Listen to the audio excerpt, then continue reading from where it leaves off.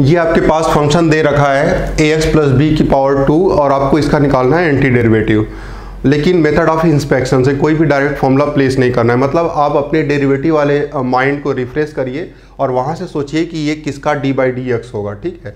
मतलब इसका anti derivative निकालना है। एंटी डेरिवेटिव का मतलब क्या होता है कि इसको इंटीग्रेट करना है। और इंटीग्रेट के साथ ये साइन डी एक्स आता है ना, बहुत लोग छोड़ देते हैं। इंटीग्रेशन की साइन लगाते हैं डी एक्स छोड़ देते हैं ना? बड़ा लूज अप्रोच होता है। तो आप थोड़ा सा चीज़ों को केयर किया करिए शुरू में, जब आपसे ये दिक्कत होती है। खैर, हमें अब ये सोचना है कि ये किसका डी बाई डी एक्स है? हमें उस फ़ंक्शन को इन्वेस्टिगेट करना है, ठीक है? या इंस्पेक्शन करना है कि किस फ़ंक्शन का डेरिवेटिव क्या है? ए एक्स प्लस बी का होल स्क्वायर है। तो ये कुछ वेरिएबल की पावर टू है। तो हम लोग जानते थे पॉलिनोमियल के टर्म में कि एक्स की पावर फाइव का डेरिवेटिव एक्स की पावर फोर होता है। एक कम पावर आ जाती है ना N X N minus one करते हो आप। फोर की थ्री हो जाएगी थ्री की टू हो जाएगी। तो यहाँ देख के एक आइडिया लगता है हमें कि ये पावर थ्री रहा होगा, उसका डेरिवेटिव क्या हो गया है? पावर टू हो गया होगा। तो इससे एक हायर ऑर्डर रहा होगा, यहाँ पे जो फ़ंक्शन होगा। तो हम क्या कंसीडर करते हैं? कंसीडरिंग देखिए, यही थोड़ा थोड़ा क्लू होता है, जिससे आप आइडिया लेके कुछ आगे अप्रोच करते हो, ठीक है? Considering D by D X of A X plus B की पावर थ्री है ना? ये थ्री क्यों लिया? उसके बारे में हमने बताया। अब इसका डिफ्रेंसिएशन करोगे आप तो ये चेन रूल लगेगा, क्योंकि डी बाई डी एक्स है एक्स के रिस्पेक्ट में ये डिफ्रेंशिएट तो होगा नहीं। है ना?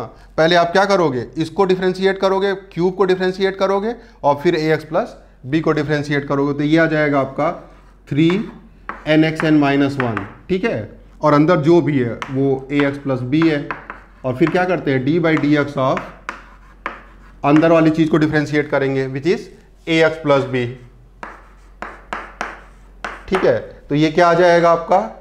Three A X plus B का होल स्क्वायर और यहाँ से ए एक्स का ए हो जाएगा और बी एक कांस्टेंट क्वांटिटी है तो बी का ज़ीरो हो जाएगा तो ये आ गया ए ठीक है? तो डी बाई डी एक्स ये हो गया आपका D by D X of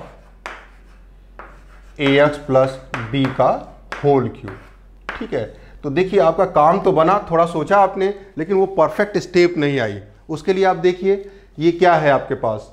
A x plus B का होल स्क्वायर चाहिए था, हमें सिर्फ़। हमें सिर्फ़ इससे मतलब था। ये किसका डेरिवेटिव है? और ये लोग एक्स्ट्रा आ गए हमारे पास। तो इनको आप क्या कर दीजिए?